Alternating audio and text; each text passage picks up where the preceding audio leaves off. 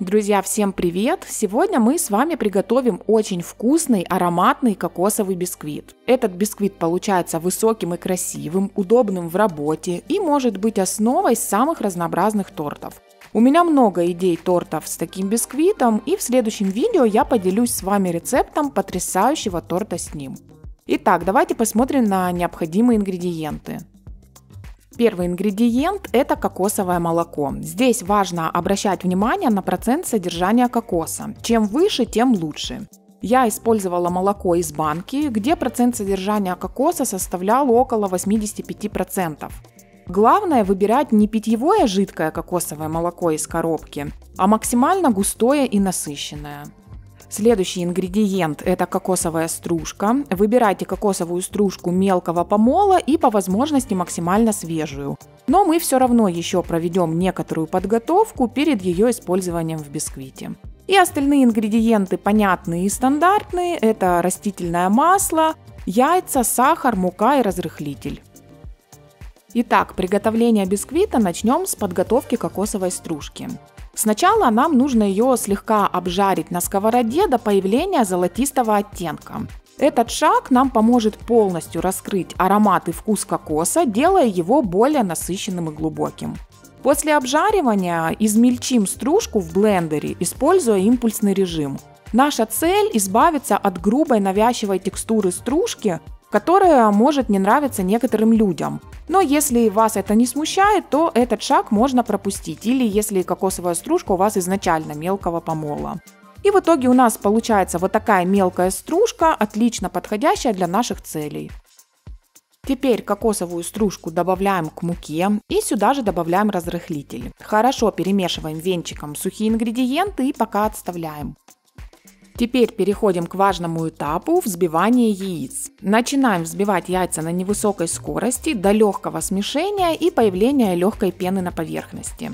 Когда яйца смешаются, начинаем постепенно добавлять сахар, не прекращая взбивания. И после добавления всего сахара скорость миксера увеличиваем. Продолжаем процесс взбивания до тех пор, пока масса заметно увеличится в объеме, станет пышной, воздушной и заметно посветлеет. Сахар должен полностью раствориться. Посмотрите, как хорошо видно, насколько масса выросла в объеме. Теперь к взбитой яичной массе добавляем кокосовое молоко и растительное масло. И используя лопатку, не миксер, будем аккуратно все смешивать. Кокосовое молоко и масло опускаются на дно, поэтому наша задача аккуратно доставать лопаткой до самого дна чаши, чтобы равномерно соединить все ингредиенты. Но делать это нужно бережно, чтобы не потерять ту воздушность теста, которую мы так старательно взбивали. И мы подошли к финальному шагу, это добавление сухих ингредиентов. Сейчас наша задача вмешать их, при этом сохранить всю воздушность и пышность теста.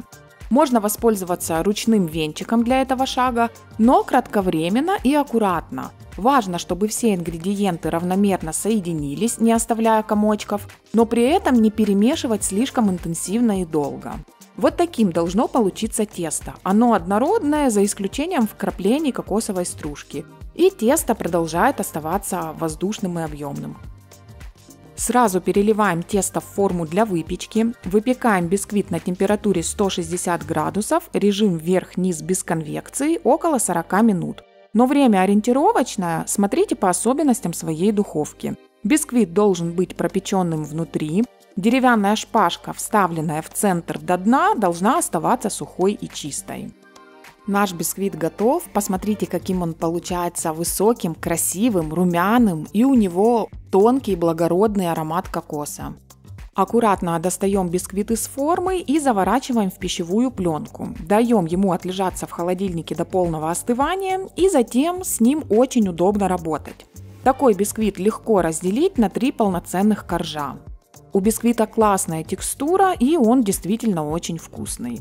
Возможности для творчества с таким бисквитом практически безграничны. Вы можете экспериментировать с различными кремами, муссами, начинками и каждый раз получать что-то уникальное.